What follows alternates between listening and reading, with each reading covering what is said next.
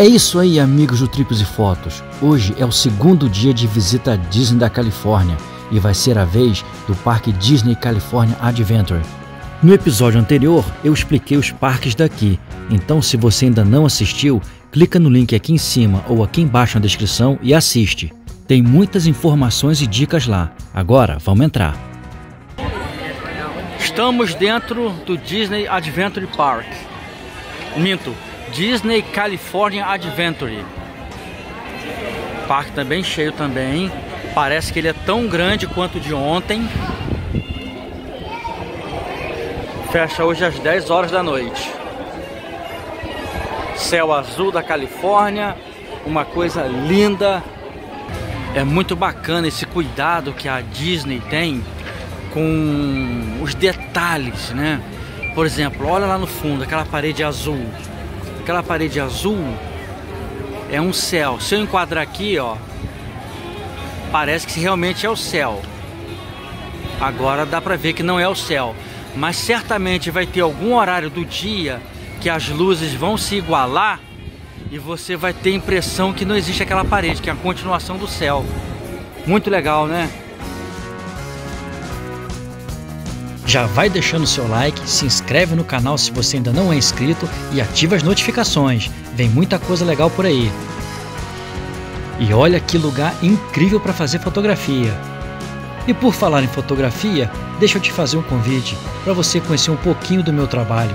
Acesse o meu Instagram pessoal, André Ferreira Fotografia. Os meus melhores cliques estão lá e alguns viram verdadeiras obras de arte quem sabe você escolhe uma para compor aí o seu ambiente. Vambora voltar pro parque, porque tem muita coisa para fazer e o dia tá só começando. say hello to Brazil. Hello Brazil. Spider-Man. Os heróis são uma constante nesse parque da Disney, e se você tiver paciência, você pode até conseguir uma foto com eles eu preferi usar meu tempo para ir brincar. Ó, oh, agora não sei que brinquedo é esse não, mas eu tô indo lá, hein? Me passa a impressão que é semelhante ao brinquedo que tem lá em Orlando, que é a Torre do Terror, que despenca lá do elevador lá de cima. Ah! Tô indo pra lá. Agora eu tô aqui dentro da sala já, continuo na fila, mas tô dentro da sala de espera aqui do brinquedo. Como dá para ver, esse brinquedo segue o padrão de quase todos os outros brinquedos dos parques, tanto Disney quanto Universal. Ou seja, antes de acessar o brinquedo, a fila passa por uma sala temática, onde você vai conhecer um pouco mais sobre o enredo, vai receber informações de segurança e, o mais importante, vai ficar no ar condicionado. Pode acreditar, no verão tanto em Orlando quanto aqui em Anaheim faz muito, muito calor.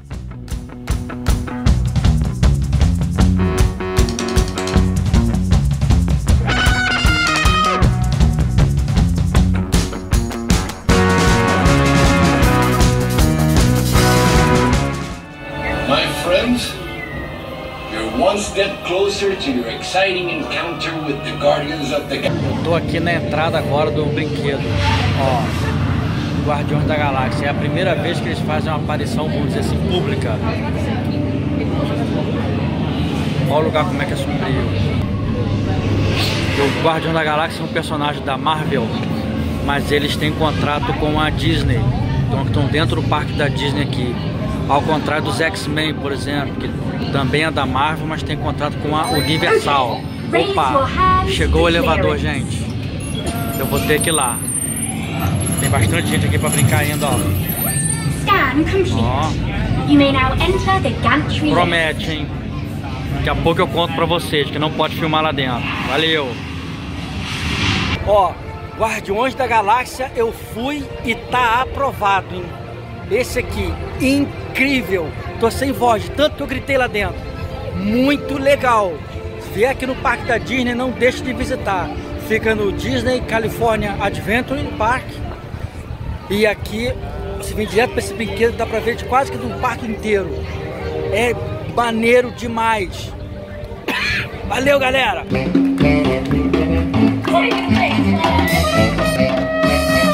Você gosta de show? Ah, pelas ruas da Disney você vê o tempo todo.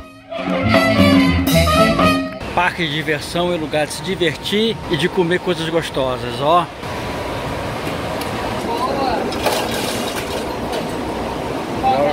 Coca-Cola.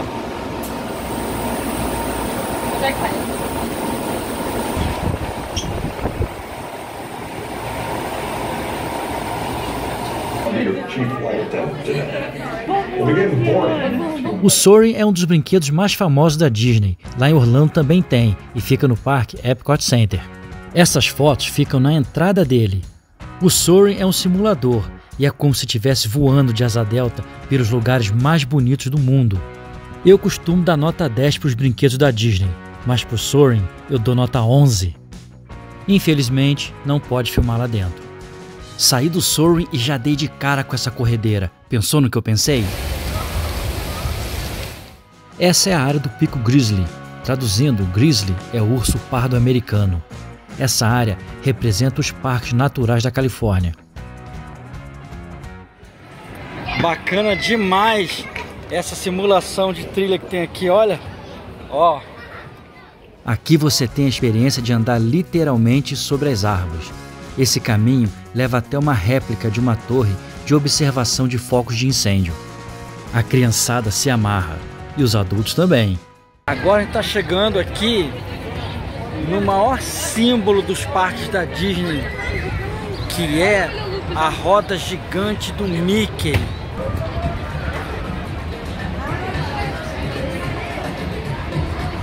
Incrível! Como você sabe, o Mickey está próximo de completar 100 anos. E essa área aqui do parque remete às primeiras fases do Ratinho. Você vai notar pelos brinquedos que o estilo é bem retrô.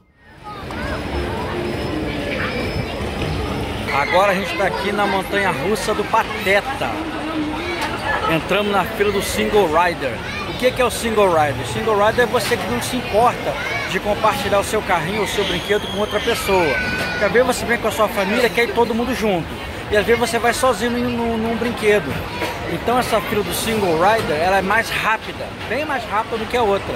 Porque qualquer vaga que pintar, eles colocam você e você vai. Entendeu? É muito bacana, é muito rápido.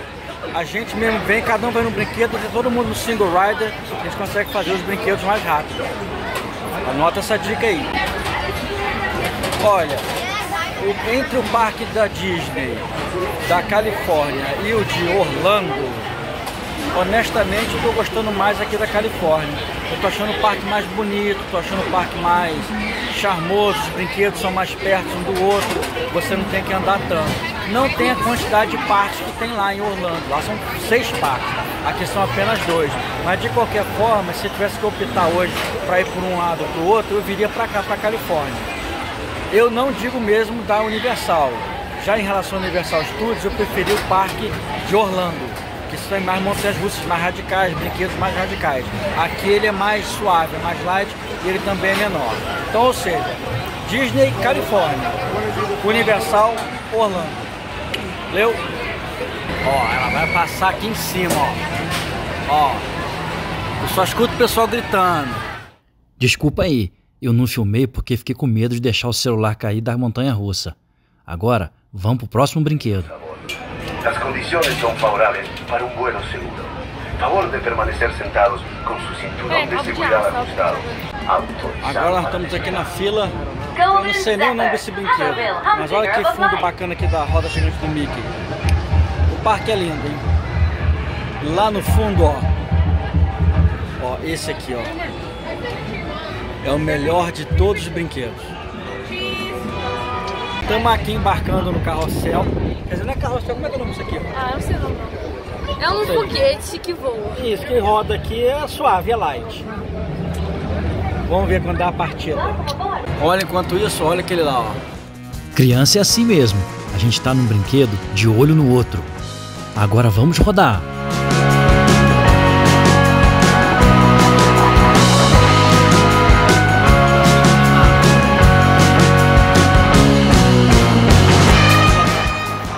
Agora nós vamos cair nesse carrossel que roda aí, vamos ver o que, é que vai dar isso.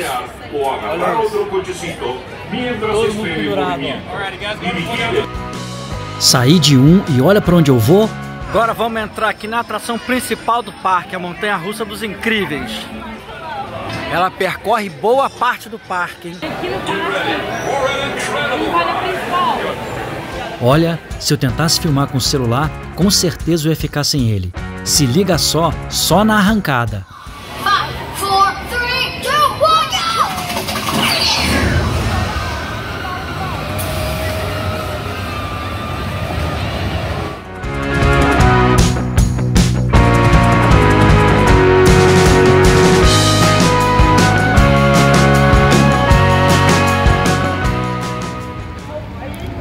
Olha que entrada! Escreve nos comentários o que você achou da animação Carros da Disney Pixar. Esse foi o brinquedo que eu mais filmei. Vou deixar aí para você assistir. Acompanha aí.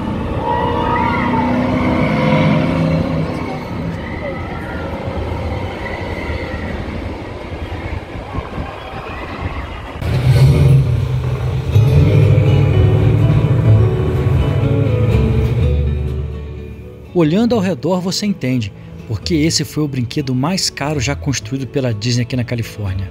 É lindo, é uma imitação do Ornament Valley. Esse vale fica na Rota 66. Eu falei sobre ela no episódio 20. Se você não assistiu, clica no card aqui em cima ou no link aqui embaixo na descrição. O vídeo ficou muito legal.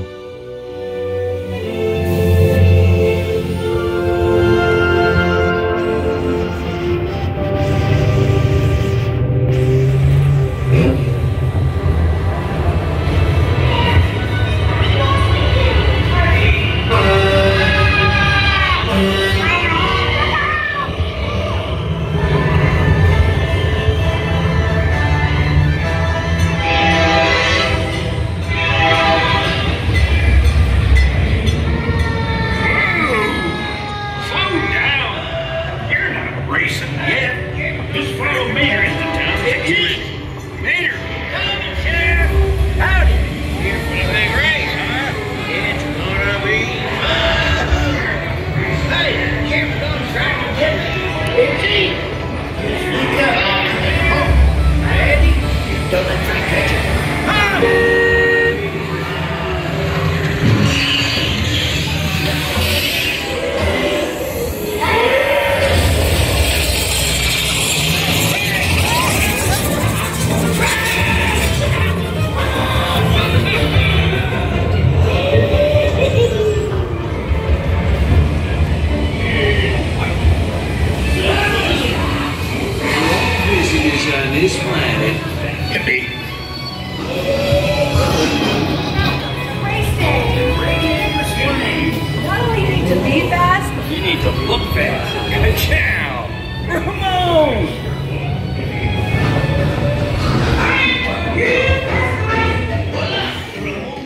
É isso aí, amigos do Trips e Fotos.